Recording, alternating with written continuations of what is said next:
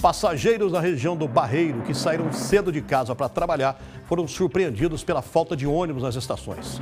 Uma empresa que atende 80% das viagens na região fechou as portas da garagem, alegando falta de dinheiro para comprar combustível. É, vamos ver o que, que vai ser isso aí, porque o trabalhador, quando faz a paralisação dele, ele é obrigado a manter, né, no mínimo 30% ou 60% ou 50% da atividade quando ele paralisa. E as empresas quando paralisam? Elas não são obrigadas a voltar e manter pelo menos o mínimo possível de ônibus? Eis a questão, né? Vamos ver. Na estação Diamante, região do Barreiro, passageiros foram pegos de surpresa. Tá sabendo que o 3350 não está circulando hoje? Não, não estou sabendo, não. Eles não dão nenhuma informação pra gente. Você chega no ponto do 11, simplesmente não tem. Ó, você vê, era pra eu ter pego esse serviço 8 horas, eu tô aqui até agora. É muito, muito chato isso, né? O jeito foi pegar outra condução e vários usuários buscavam alternativas. Ainda bem que tem 342 para salvar a gente, né?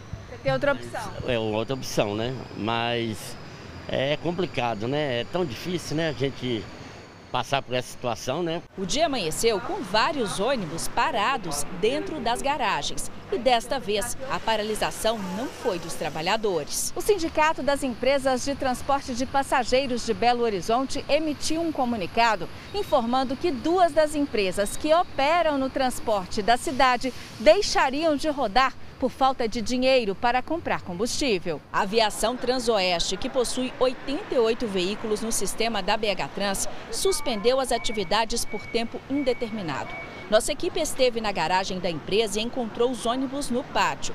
No ponto de embarque e desembarque, que fica em frente ao local, tinha muita gente. Cheguei hoje aqui, estava assim, ó, perguntei ao pessoal o que estava acontecendo.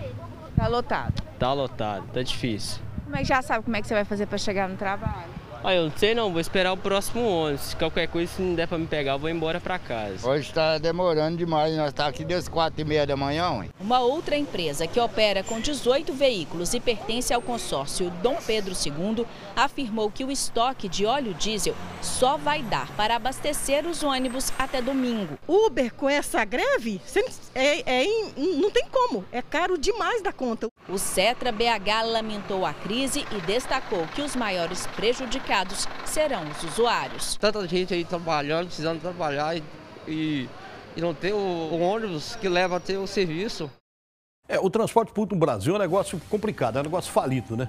É um negócio que não vai, não dá certo mesmo. É uma coisa impressionante. Bom, o governo municipal aí, né, a prefeitura fez um acordo e eles aceitaram esse acordo pelo sindicato. De repente não dá certo. Então, complicado, porque quando o trabalhador para, ele é obrigado a manter o um mínimo. E as empresas, quando para, não é obrigado a manter nada? Está marcada ainda para essa tarde uma reunião entre a Prefeitura e o Sindicato das Empresas de Ônibus Urbanos.